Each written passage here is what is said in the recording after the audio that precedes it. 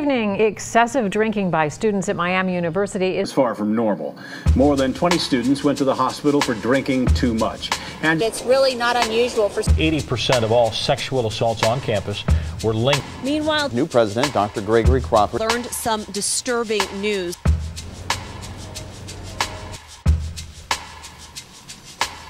So that's what happened this weekend. He implied that the students had learned nothing. The students have heard enough from the adults. They need to talk to each other. The student perspective saying, we're not going to do this anymore. And Mike, are we in for a repeat tonight or is everything under control?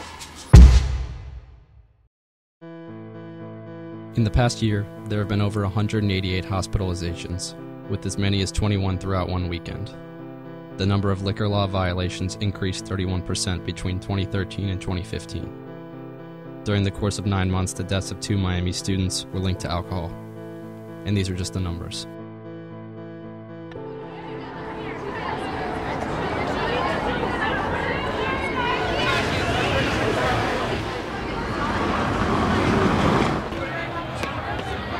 This is a typical Thursday night uptown in Oxford. Crowds of students make the trek up High Street to the bars to drink and socialize with friends, often to excess. People come out no matter what the weather is. There's a ritual to going uptown and going home, but the state students leave in is almost always the same.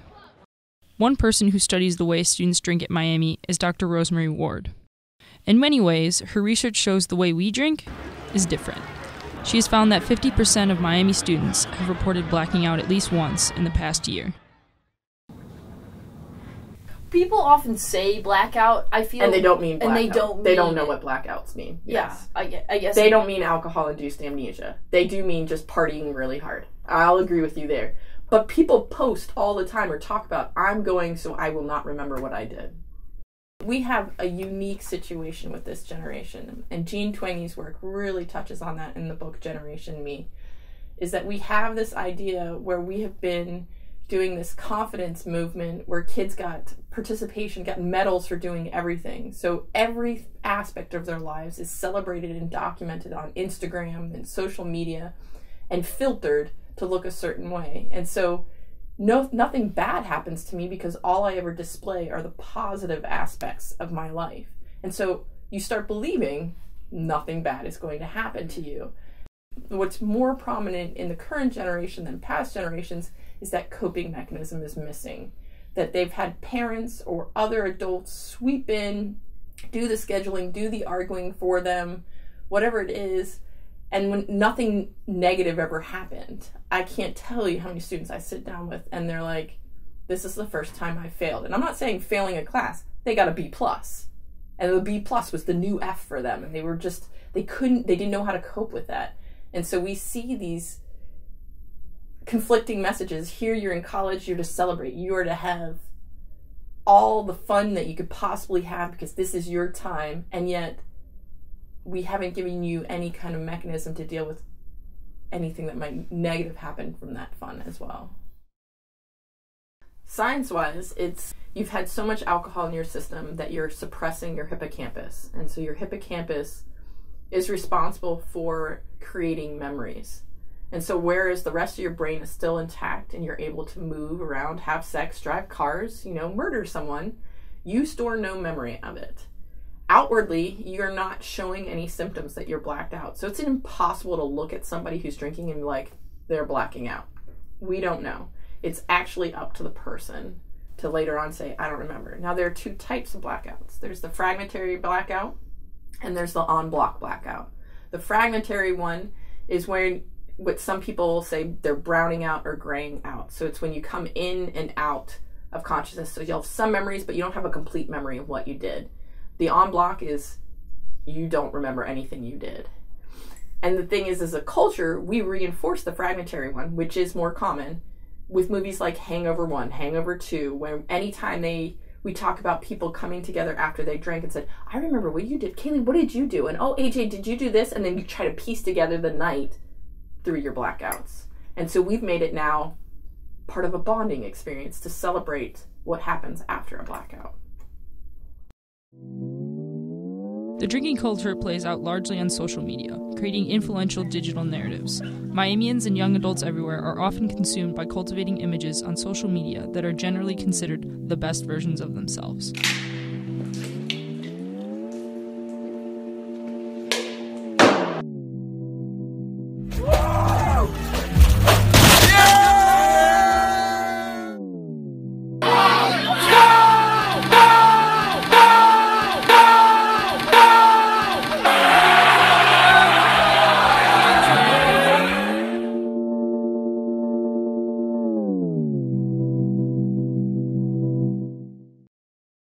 Years ago, I got into the Dean of Students office, and I joked that it took me two days to realize that alcohol and drug abuse, particularly alcohol abuse, was sort of at the core of many of the other things that were being brought to my attention in this role. But then as I reflect back, it was actually probably only two hours that it took for me to figure it out. Uh, high risk consumption is an individual choice, ultimately. Absolutely, the decision to intentionally binge drink is an individual choice. So I'm, I'm falling back on my economics training here. So I think about how do we change behavior? Well, we have to increase the cost or we have to reduce the benefit of this activity in order to impact it. That the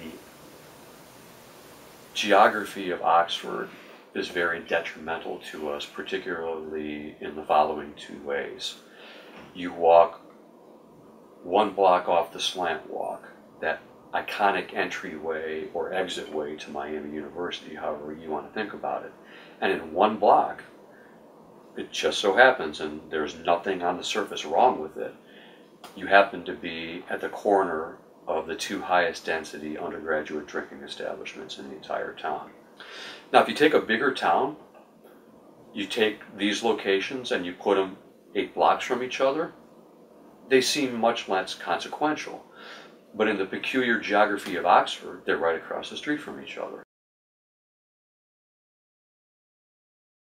Austin Worrell is an ASG cabinet member who has been working on rewriting Miami policies related to student drinking. Dr. Curme and I have worked a lot on how we needed to change the alcohol policy to reflect more of the cultural aspect of Miami.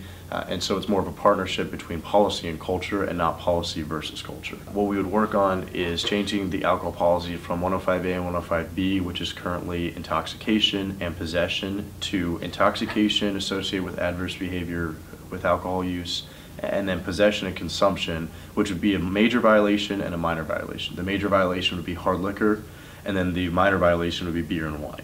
And the reasoning behind that is the culture that's here is one where a lot of students are going to drink no matter what the policy is. So if they feel that they might not get in as much trouble if they consume beer or wine, which is typically a less dangerous alcohol to consume, then hopefully we'll have more students choosing, if they're going to break the rules, to break them in a more safe manner. I just think that sometimes we're not necessarily aware of that, you know, oh, hey, maybe I should look out for that person. I think sometimes we just assume, oh, they'll be okay. They've got it under control. Mm-hmm. Not because I think that I only care about myself, but because I just assume, oh, you know, they can handle their own situation.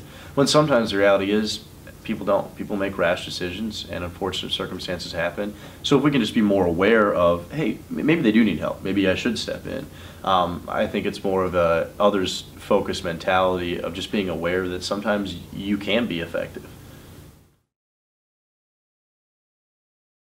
Was a student here, it was a Shillito's. It was a very nice store, so if you really wanted to get some nice clothes, uh, that was a place to go. Steve Gordon attended Miami in the early 70s, when beer was the only option in town. At the time, students weren't allowed to have cars, so the freedom to go elsewhere didn't alter their expectations of Oxford. Now we have uh, a basketball program featuring the Miami team from the spring of 1973, Coach Hedric. And what's interesting in the program, as you see featured on the back very prominently, is a full-page beer ad. So again, I think the what they're promoting is the fact they're almost like a not just a bar. You can actually get some pretty good food in there. I remember sometimes you just have what was called a Coke date. You know, late afternoon after class, and if you maybe were interested in connecting with friends, or if you had a young lady, maybe you were really interested in getting to know better, you say, hey, what do you say we go over to Tuffy's after after classes today? Just have a Coke or something. Uh, so that was that was something I did fairly often. when we were students. It was almost the norm for college students to drink, but not to excess. We didn't have, there was no conscious thing about this blackout. That's a whole new phenomenon for me. Uh, if guys had too much, you know, we just basically took them home or we just said, hey, you're not in good shape, we need to get you home.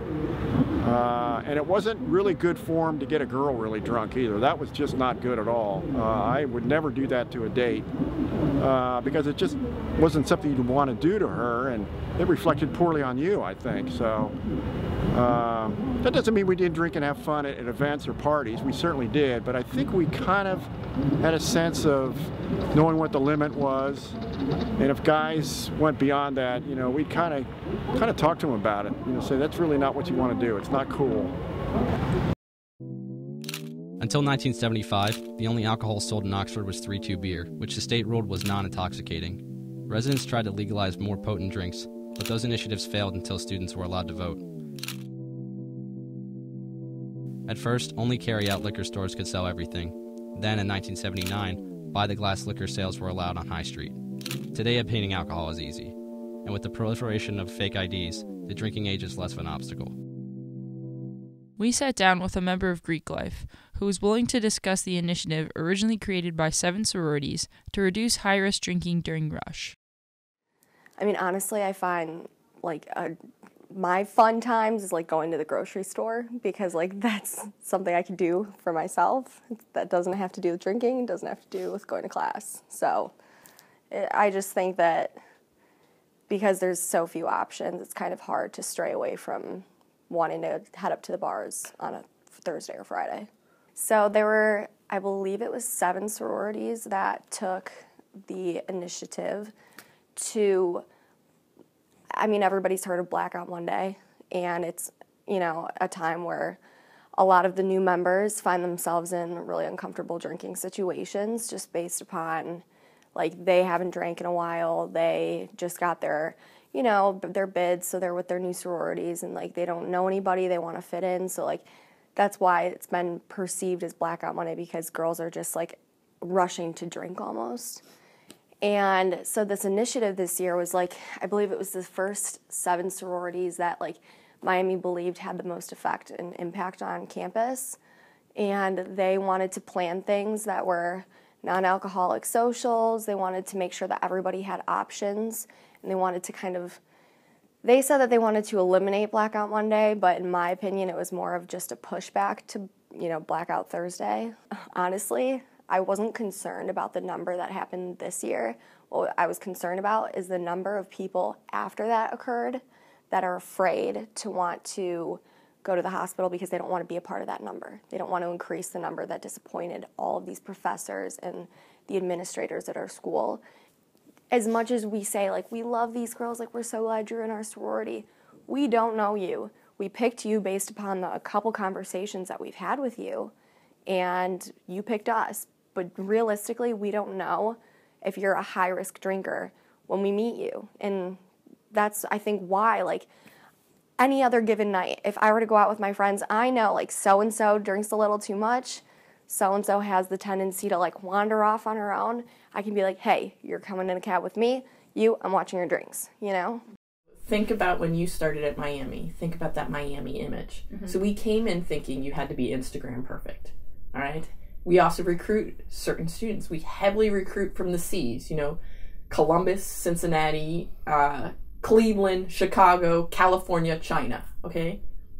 So we get a certain type of student that tends to be one who's had a different life than maybe other schools. So that's part of our little Miami image. We get certain students here that come with a certain profile coming in who are very academically driven. So have, are used to high level stress. So they feel like they need to play hard too.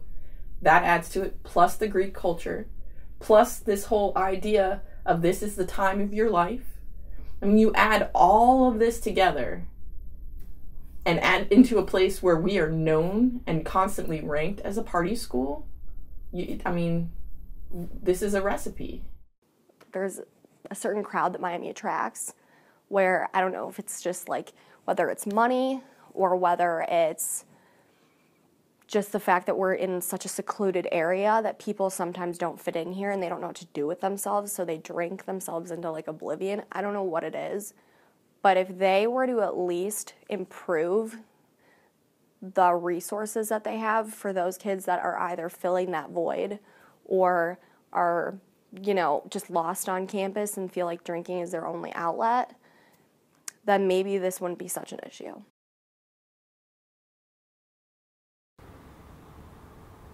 I was extremely shocked, if you will, to go to an ASG meeting last year when the ACC was put together to try to get the student input about the, what their view of the alcohol culture on campus was.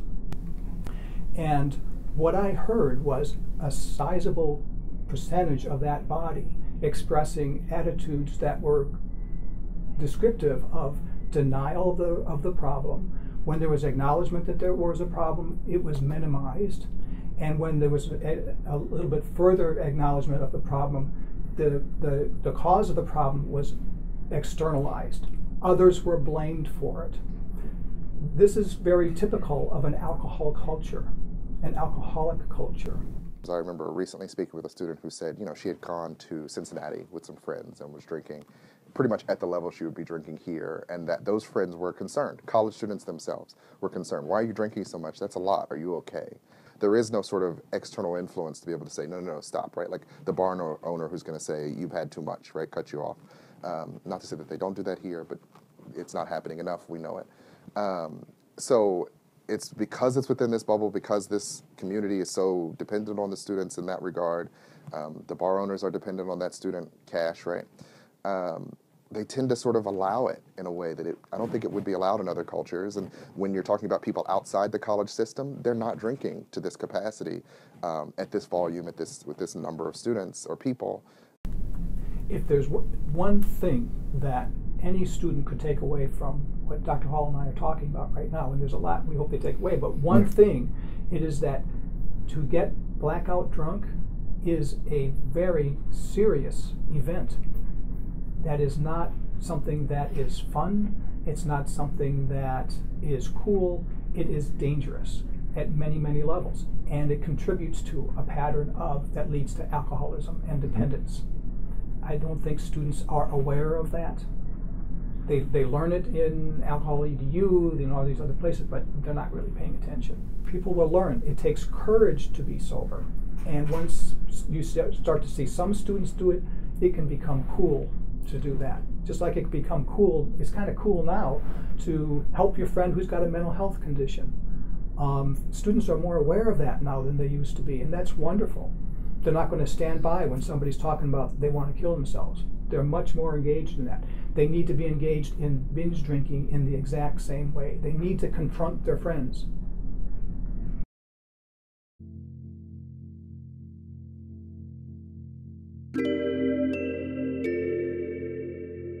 Before we even come to college, we already have an idea of what it's supposed to be like when we go to frat parties or bars. We know what we want because we've already seen it on TV. Some want to be like Jay Gatsby, others want to be like Jordan Belfort. But what happens when the party's over?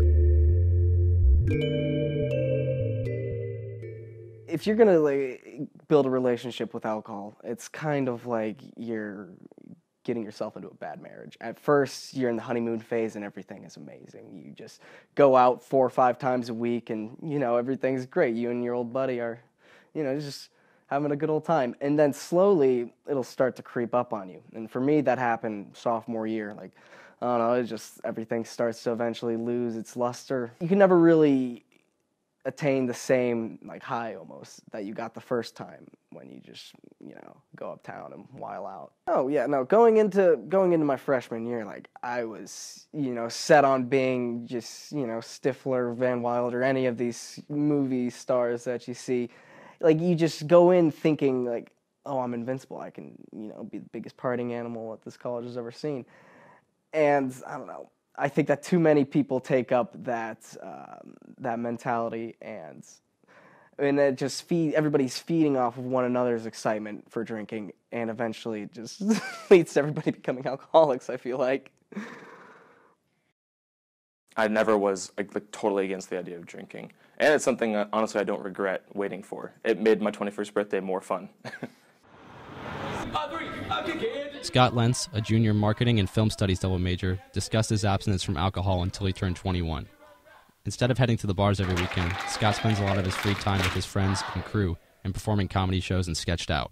There's a tendency to go overboard, a tendency to um, to get drunk uh, rather than just enjoy a beverage, you know. And so um, I would honestly say that culture here is a little bit dangerous, especially starting people off on some people, you know, move in weekend of their freshman year. You don't have to drink, and there's a lot to do in the surrounding area, if even if there's not so much to do in Oxford. But there's still plenty to do just hanging out with some people um, at someone's house or in someone's dorm room if that's where you are. Um, it's really about the people you surround yourself with. And if you and your friends decide that the only way you can have fun is to drink, um, whether you're 18 or 21, I feel like, like that's a problem. I think people have a real big tendency just to accept that drinking is going to happen in college. And rather than accept that and then continue to watch really dangerous things happen, especially, you know, um, in light of recent tragedies that have gone on here, even ignoring that and just seeing 20 plus students go to the hospital or people get arrested all the time, things like that. Um, people expect that drinking is going to happen in college, and that's the outcome. At, no matter where you are, people go to the hospital, people end up in the drunk tank, um, and in unfortunate and rare situations, people die. And I'm really, to, to be blunt, sick and tired of watching people at my school accept that and then get mad at people who try to stop it. Um, people have a tendency to blame the Miami student or you know blame people for being judgmental when somebody dies and instead of trying to um, fix the situation, like they try to fix the situation and people want to sit back in the same old, same old, and they want to you know do what they do and they don't want people to infringe upon that. And so even when somebody dies, they're unwilling to change. During Matt's sophomore year, he got involved with drugs and alcohol so much so that his behavior became a running joke among friends. My friends started to call me Barvizu. I my last name's Arvizu. I get called that a lot, and it was just it was too easy of a comparison to make. I, I like to joke around that I kind of have an alter ego, and Barvizu is that alter ego. Barvizu is everything I don't want to be, but it's what I am when I put too much alcohol in me. Basically, just unrestrained, talk to anybody. That aspect I do like about him. I think it's bad that people just like me uh, everywhere coming up they're they're kind of having their own alter egos when they go uptown. I think it just adds to the facade of this place. Everybody goes uptown under false pretenses, comes out a different person. And I'm not gonna lie, I was Barvizu for a long time. I uh, yeah, I, I would like to I would like to say that Barvizu was a lot better like a lot worse than me. I like to put all of the bad things on him, but um, in a way, your drunk self is definitely still a reflection of you. There goes my city at work. Listen here. what time is it again? yeah, yeah, yeah. Imagine. Well, since I was just walking uptown and at 1.30, I overheard a waitress say it's happy hour, and I thought 1.30, it's happy hour. I think it's happy weekend. Yeah, yeah. Who knows what that is? Like everybody's the worst. Everybody's, all colleges have drinking problems, and all colleges always have had drinking problems. It seems the severity and the the way in which drinking happens is has changed across campuses to one which seems to emphasize binge drinking, and so that's one of the things I'd characterize about Miami's drinking culture. People say, "Oh, well, Miami likes to have, or Oxford likes to have drinking here because we, the city makes all this money from the alcohol."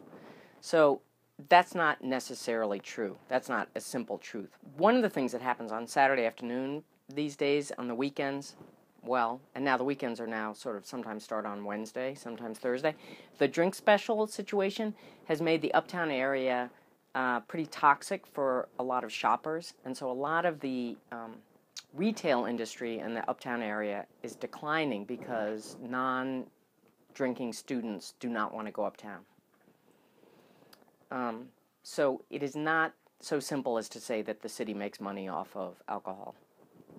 Anyway, it, it, even if that were the case, it's not the city, it's maybe a few establishments that are. One of the things that people ask about routinely is what are you doing about drink specials uptown? Plays right into this strategy of keeping the cost of alcohol high.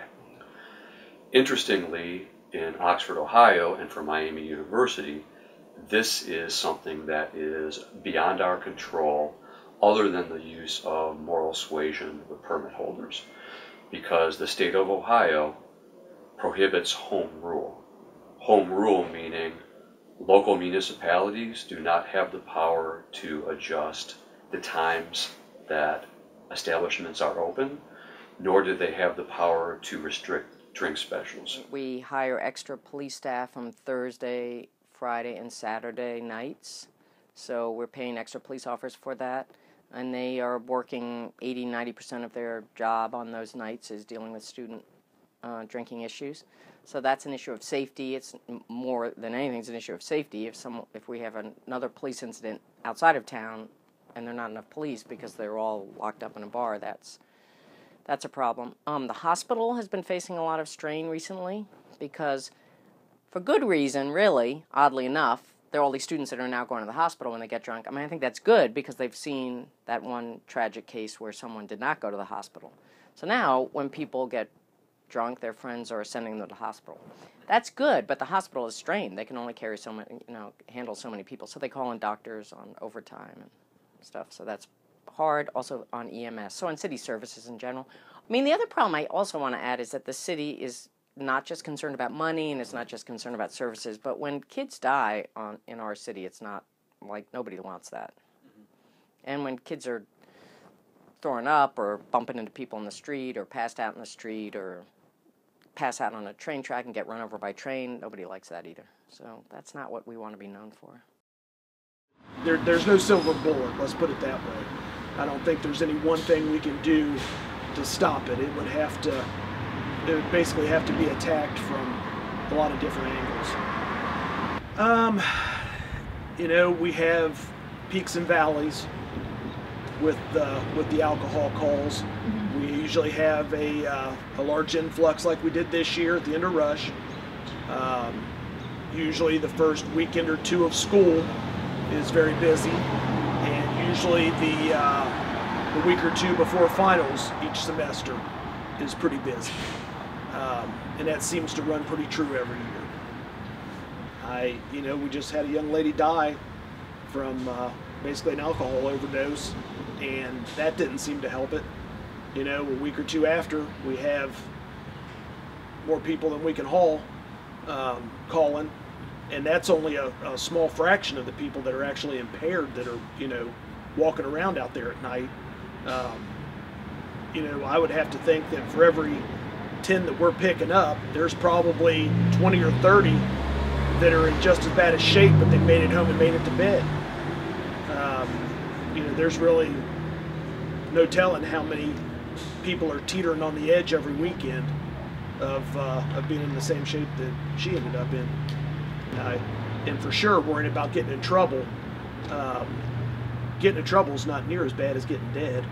Binge drinking is dangerous. It causes mental health problems. It causes addiction. These are signs of addiction. Miami students have this belief that the alcohol patterns that they develop in college, once they graduate, they're not going to be bothered by it. Yeah. That's not true. That is a myth. We've been saying that for a long, long time. But what gets through to the alcoholic attitude? I don't know. While Miami students celebrated St. Patrick's Day for generations, Green Beer Day began in the late 1970s when Miami's academic calendar change put March 17th in spring break.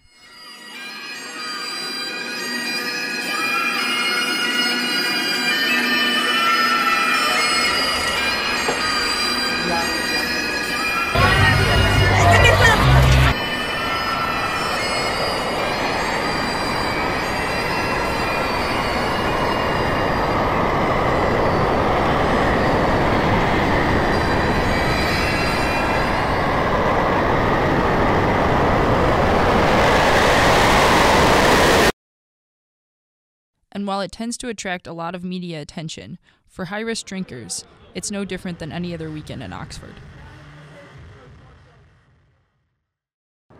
Every Wednesday, a group of students from the Individualized Study, or Western program, come together at Skipper's to grab a beer and talk about life. These kids are one example of a more moderate group of college age drinkers. It has a, is it a, the first one.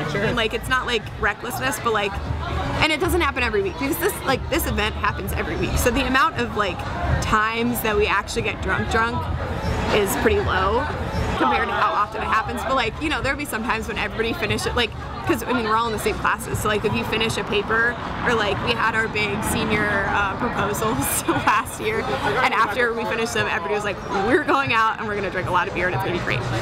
And the thing is, like, again, it's beer, so like the whole liquid ratio thing is, you know, you, it's not as bad as like taking shots.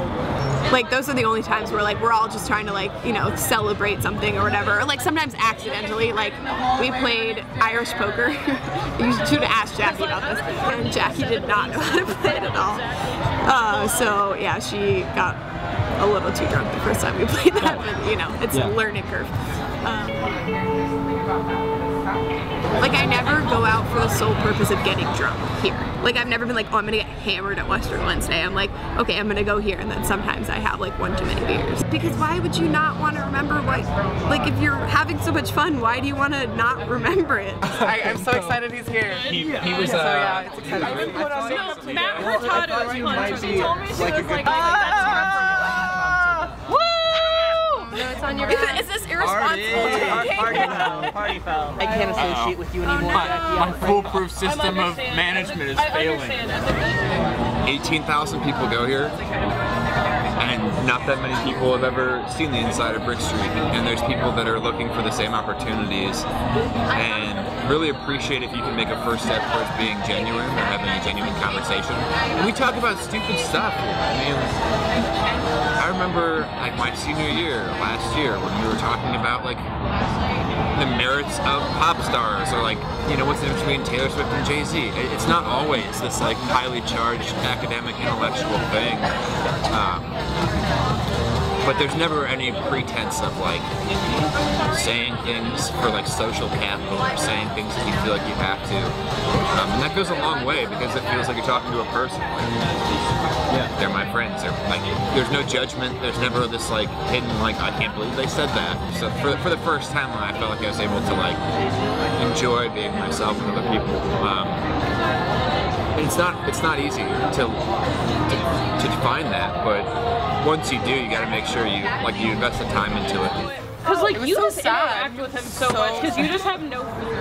I come from a town where we also don't have a movie theater. Uh, we have two bowling alleys and a roller rink, but no movie theater. If that tells you what era my town is from. Yeah. Um, so like coming here, I was like, wow, there's so much to do here. you know, even Cincinnati, there's nothing to do in Cincinnati. Like if you're co- using these standards, there's nothing to do anywhere. Yeah. It's not like you know you gotta.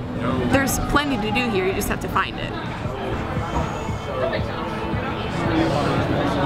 I truly think that stuff like this happens everywhere at Miami. Like, I don't think that what we see at, on High Street is what the dominant culture is. I think that people do this, and this type of gathering um, is what people imagine when they talk about college drinking culture, college party culture. But it's not always visible here. And it's such a small town that the spaces that people have to to to do this kind of thing are limited. Um, and that's why we've always gravitated to this place. We've always come here, and uh, it'll always be here. We get to share the space, and that was something that I feel like I can't do on a regular basis on a weekend. It's very difficult to come up here, even to the same establishment, two blocks over, one block over. You feel like you don't belong.